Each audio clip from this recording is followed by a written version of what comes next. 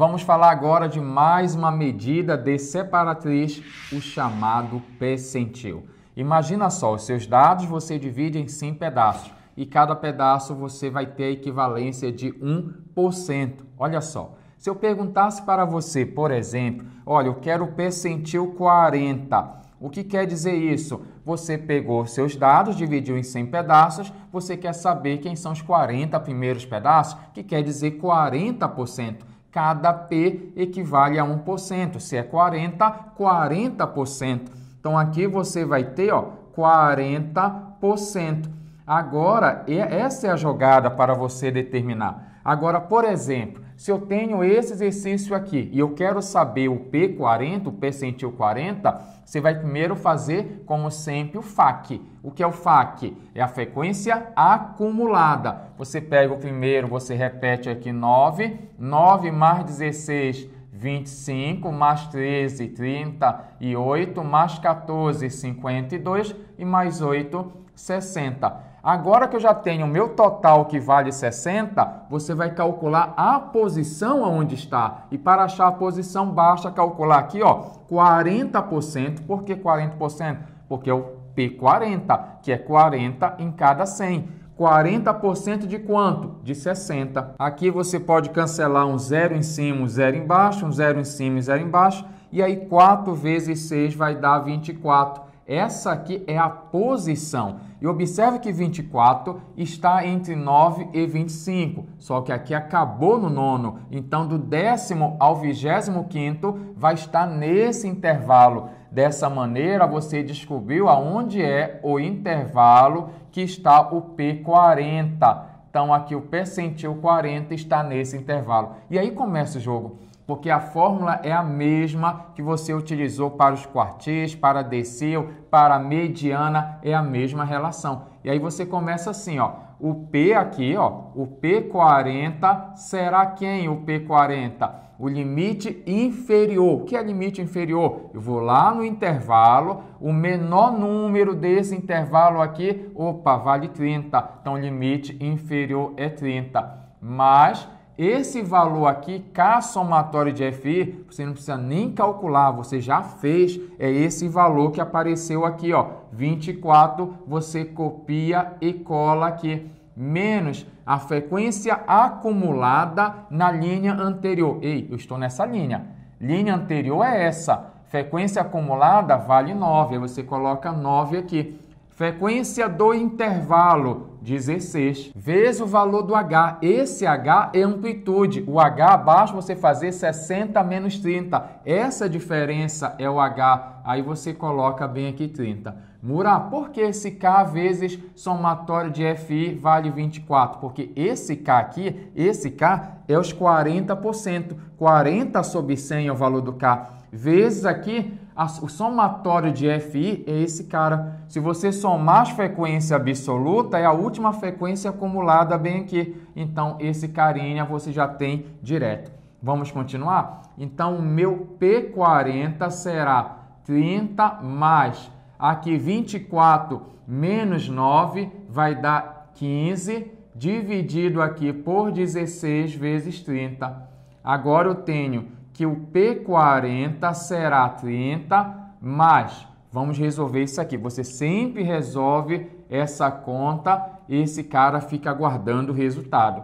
15 vezes 30, 450 dividido por 16. Essa nossa divisão aqui, 450 por 16, esse valor aqui vai dar 28,125.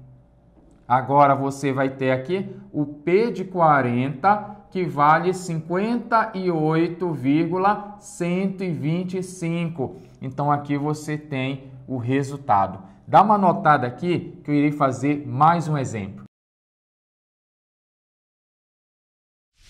Vamos calcular agora, por exemplo, o P82, o percentil número 82. Como é que você começa? Achando a sua posição. Você escreve aí, ó, Posição. Ah, eu quero saber o P82. O que quer dizer isso? 82 sobre 100, que é 82% do total. Qual o total aqui? 60. você corta aqui, ó, um zero em cima, um zero embaixo. Aqui você vai efetuar esses cálculos. 6 vezes 2 vai dar aqui 12, vai 1. 6 vezes 8 vai dar 48, mais 1, 49, dividido aqui por 10.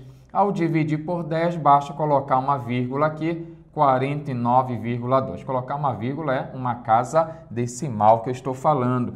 Essa é a posição. Mas Mura não deu inteiro, não tem importância.